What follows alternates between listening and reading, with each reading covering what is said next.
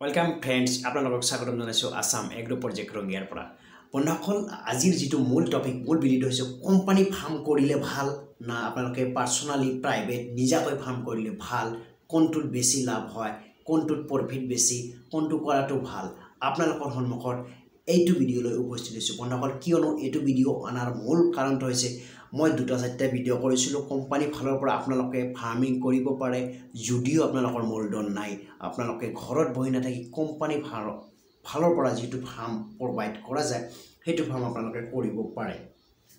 চ' friends ইয়াৰ পিছত এই ভিডিঅ'কেইটা দেখাৰ পিছত বহুত ফোন কল বহুত কমেণ্টছ আহি থাকে যে দাদা কোম্পানী নাম্বাৰটো দিয়ক কোম্পানীৰ লগত যোগাযোগ কৰিম কোম্পানীৰ পৰা কেনেকুৱা ফাৰ্মিং কৰিম? মানে যিটো পল্ট্ৰি ফাৰ্মিং ব্ৰইলাৰ ফাৰ্মিং যিটো কৰা যায় সেইটো ফাৰ্মিঙৰ কথা কোৱা গৈছে ইয়াতে।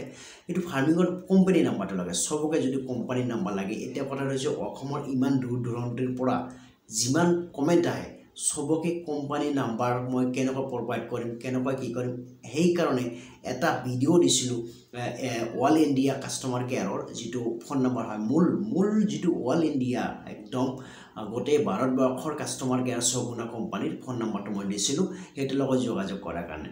তথাপিও ফোন নম্বৰ কমেণ্টছ আহি থাকে কিছুমান চ' ফ্ৰেণ্ডছ আজিৰ ভিডিঅ'টো সম্পূৰ্ণ সেইটো টপিকৰ ৰিলেটেড হয় যিহেতু আপোনালোকে কোম্পানী ফাৰ্মিং কৰাৰ কাৰণে ইণ্টাৰেষ্টেড হয়। চ' আপোনালোকে আজিৰ ভিডিঅ'টোত মই টপিকটো ওলাম যি আপোনালোকে কোম্পানী ফাৰ্মিং কৰাটো সচল আচলতে ভাল না পাৰ্চনেলি কৰাটো আচলতে ভাল? এতিয়া কথাটো হৈছে কোম্পানী ফাৰ্মিং কৰিব পাৰে আপোনালোকে ভাল কথা। কোম্পানী ফাৰ্মিং কৰাটো লাভ আছে লছ নহয়। কিন্তু কোম্পানী ফাৰ্মিঙতকৈ আপোনালোকে নিজাকৈও ফাৰ্মিং কৰা এটা পদ্ধতি আছে। চ' ফ্ৰেণ্ডছ এতিয়া কথাটো হৈছে কোম্পানী যেতিয়া আপোনাক ফাৰ্মটো দিব আপোনালোকে কি কৰিব লাগিব? ডাঙৰ এখন ঘৰ বনাই ল'ব মই টপিকটো আপোনালোকে শুনি লওক যে ডাঙ কিমান টকা ক'ত খৰচ হ'ব? কোম্পানী ফাৰ্মিঙো যদি আপোনালোকে কৰে তথাপি কিন্তু আপোনালোকৰ খৰচ আছে। এনে ফ্ৰীত কোম্পানী আপোনালোকক নিদে কিছুমান খৰচ আপোনালোকে কম্পালচাৰী আছে কৰিব লাগিব। আৰু পাৰ্চনেলি যদি কৰে কেনেকুৱা কৰিব লাগিব? কোনটোত খৰচ কিমান হ'ব? সেইটো আপোনালোকে হিচাপ কৰি ল'ব নিজে কোম্পানী ফাৰ্মিং কৰিলে আপোনালোকে প্ৰথমত নিজে এখন ঘৰ বনাব লাগিব। ঘৰখন সৰু বনালেই নহ'ব।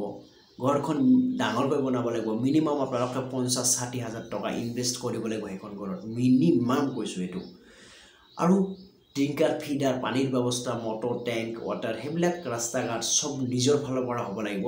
খালি কোম্পানীয়ে আপোনাক দানা দিব পোৱালি দিব মেডিচিন দিব আপুনি বাকী লিডাৰ খৰচ লাইনৰ বিল এইবিলাক আপুনি নিজেও দিব লাগিব। দি পেলাই আপোনাক কোম্পানীয়ে পাৰ কেজি হিচাপত সাতৰ পৰা দহ টকা এটা খৰচ আপোনাক দি দিব এফ চি আৰ হিচাপত।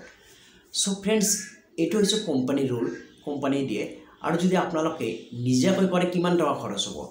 আপোনালোকে ধৰক এক হাজাৰ পোৱালি পুহিছে যদি কোম্পানীৰ পৰা হেৰিৰ পৰা। এক হাজাৰত যদি আপোনালোকৰ দুই হাজাৰ কেজি হৈছে দুই হাজাৰত আপোনাৰ বিছ হাজাৰ টকা আহিব। বিছ হাজাৰ টকা আহিব। তথাপি আপোনালোকে মিনিমাম ইয়াতে সত্তৰ আশী হাজাৰ টকা ইনভেষ্ট কৰিব লাগিব।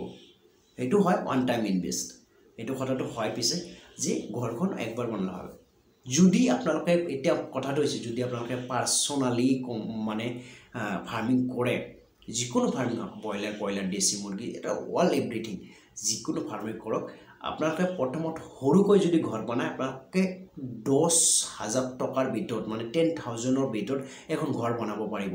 এইখিনি মই ভালকৈ জানো সৰুকৈ বনাব। আপোনালোকে দুশ মুৰ্গীৰ কাৰণে বনাব দহ হাজাৰ টকাৰ ভিতৰত। দহ হাজাৰ টকাৰ ভিতৰত আপোনালোকে ঘৰ বনাব নিজাকৈ। তাৰপিছত দহ হাজাৰ টকাৰ ভিতৰত দুইশমান পোৱালি ল'ব। ব্ৰইলাৰ পোৱালি ধৰক মই ইয়াতে ব্ৰইলাৰ পোৱালিৰ কথাই কৈ আছোঁ। ব্ৰইলাৰ ফাৰ্মিং যিটো কোম্পানী ফাৰ্মিং হয় সেইটো কাৰণে ব্ৰইলাৰৰ পোৱালি ধৰক দুই হাজাৰ দহ হাজাৰ টকাত দুইশ পোৱালিটো লোৱাৰ পিছত আপোনালোকে বিছ হাজাৰ টকা হ'ল ঘৰ বনাওঁতে বিছ দহ হাজাৰ টকা খৰচ হৈছে আৰু দহ হাজাৰ টকা ইয়াতে পোৱালি লওঁতে হ'ল। আৰু আপোনালোকে ইয়াতে ত্ৰিছ হাজাৰ টকা আপোনালোকে ফিট মেডিচিন খৰচ লাইন বিল মই ধৰিলোঁ। ত্ৰিছ হাজাৰ টকা। দুইশ পোৱালিত নাযায়। বিছ হাজাৰ টকা ইয়াতে হৈ যায় হৈ যাব লাগে। তথাপি ত্ৰিছ হাজাৰ টকা ধৰিলোঁ ত্ৰিছ হাজাৰ টকা আৰু ইফালে ঘৰ বনাত দহ হাজাৰ আৰু আপোনালোকে পোৱালি কিনিছিল দহ হাজাৰ। টোটাল ফিফটি থাউজেণ্ডত আপোনালোকে দুইশ পোৱালি পুহিব পাৰিব। এতিয়া কথাটো হৈছে দুইশ পোৱালি যেতিয়া আপোনালোকে পুহিব পঞ্চাছ হাজাৰ টকাত দুইশ পোৱালি যেতিয়া আপোনাৰ চল্লিছ দিন পিছত এতিয়া হিচাপটো হৈছে মূল হিচাপটো এইটো আপোনালোকে এতিয়া মূল হিচাপটো ওলাব পাৰিব যে যিটো চল্লিছ দিন বা বিয়াল্লিছ দিনৰ ভিতৰত যেতিয়া মুৰ্গীকেইটা ডাঙৰ হৈ যাব এতিয়া মিনিমাম আপোনালোকৰ দুইশ আপোনালোকৰ কিমান আহিব? দুইশ কেজি দুই কেজি কৰি হ'লে চাৰিশ কেজি নহয় পাঁচশ কেজিমান মুৰ্গী আহিব। পাঁচশ কেজি মুৰ্গী যদি আহে আপোনালোকে হিচাপ কৰক মিনিমাম আজিৰ দিনত আজিৰ দিনত পাঁচশ কেজি কেজি মুৰ্গী যদি আহে আজিৰ দিনত আপোনালোকে এশ পঁয়ত্ৰিছৰ পৰা এশ ষাঠি টকা হ'লচেল ৰেটত বিক্ৰী কৰি আছে। এশ পঁয়ত্ৰিছৰ পৰা এশ ষাঠি টকাকৈ যদি পাৰ কেজি আপোনালোকে বিক্ৰী কৰিব পাৰে আপোনালোকে মিনিমাম যিটো এশ টকা সেইটো আপোনালোকৰ মূল থাকিব। যিহেতু এশ টকা হ'লে পঞ্চ পাঁচশ কেজি দাম পঞ্চাছ হাজাৰ টকা বা সেইটো আপোনাৰ মূল পইচা খৰচ হৈছিল। আৰু যিটো পঁয়ত্ৰিছৰ ওপৰত এশৰ ওপৰত যিমানখিনি টকা বিক্ৰী কৰিব সেইটো আপোনাৰ প্ৰফিট থাকিব। কিন্তু তথাপিও ইয়াতে ঘৰ বনোৱাৰ পইচা আছে। নেক্সট টাইম আপোনালোকে যেতিয়া কৰিব ঘৰ বনোৱাৰ পইচাটো নাথাকে নালাগে। চ' ফ্ৰেণ্ডছ আপোনালোকে কোম্পানী ফালৰ পৰা কৰিলে আৰু ছেকেণ্ড বেনিফিট আপোনালোকক বা বেয়া ছাইড বা ভাল ছাইড কৈ আছোঁ। ছেকেণ্ড হৈছে কোম্পানী ফাৰ্মিঙৰ মাল যেতিয়া কোম্পানী উঠাই লৈ যাব তেতিয়া কোম্পানীৰ পিছে পিছে আৰু পোন্ধৰ দিন ঘূৰিব লাগিব আপোনালোকে পোৱালি নেক্সট পোৱালি উঠাৰ কাৰণে। তথাপিও ঘূৰিব লাগিব আৰু আপোনালোকে নিজাকৈ কৰিলে এইটো দুই তিনিদিনৰ ভিতৰত এসপ্তাহৰ ভিতৰত আপোনালোকে যেতিয়া ইচ্ছা তেতিয়া পোৱালি আৰু নেক্সট টাইম উঠাব পাৰিব। আৰু থাৰ্ডলি কথা হৈছে কোম্পানীৰ যিটো পে'মেণ্ট মূল কথাটো কিন্তু সেইটোৱেই। পইচা পইচা মূল কথাটো কিন্তু। পইচাটো যদি আপোনালোকে ভাল পায় যিটো পে'মেণ্ট কোম্পানীৰ পে'মেণ্টটো আপোনালোকক উইথিন টেন ডেজ পিছত দিব। পোন্ধৰ বিছ দিন পিছ পাৰ হৈ যায় কিছুমান সময়ত। কিন্তু আপোনালোকে যিটো নিজাকৈ কৰে সেইটো আপোনালোকে কাৰেণ্টলি পাব। নিজে বিক্ৰী কৰিব নিজে পইচা হাতত ল'ব। এইবিলাক হৈছে বেনিফিট ডিফাৰেঞ্চ কোম্পানী ফাৰ্মিং আৰু নিজে ফাৰ্মিং তথাপিও আপোনালোকে যদি কোম্পানী ফাৰ্মিং কৰিব বিচাৰে কৰিব পাৰে বেয়া নহয়। আৰু আপোনালোকে যদি নিজাকৈ কৰিব পাৰে সেইটো কৰিব পাৰে। তো বন্ধুসকল অসমৰ বিভিন্ন ঠাইৰ পৰা মোৰ ভিডিঅ' চাই পেলাই কমেণ্টছ আহে বা যে কল আহে যে কোম্পানী নাম্বাৰটো দিয়ক। কোম্পানী নাম্বাৰ মই অল ইণ্ডিয়া বেছে এটা নাম্বাৰ দি দিছোঁ।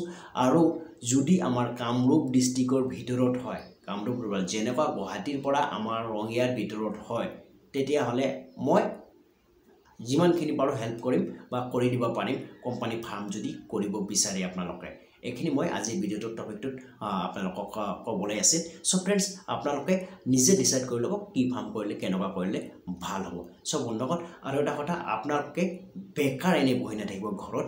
আপোনালোকে বেকাৰ বহি থকাতকৈ যিকোনো এটা কৰক আপোনালোকে ফাৰ্মিং নকৰক বেলেগ কাম হ'লেও কৰিব লাগে বেকাৰ বহি থকাতকৈ আৰু যদি ফাৰ্মিং ছেক্টৰত আহিব খোজে পইচা আছে আপোনালোকে কৰিব পাৰে যিকোনো ধৰণৰ পোৱালি লাগিলেও আপোনালোকে মোৰ তাত পাই যাব। ইক ইনকিউবেটাৰ কণীৰ পৰা পোৱালি যোগোৱা মেচিন আপোনালোকে পাই যাব।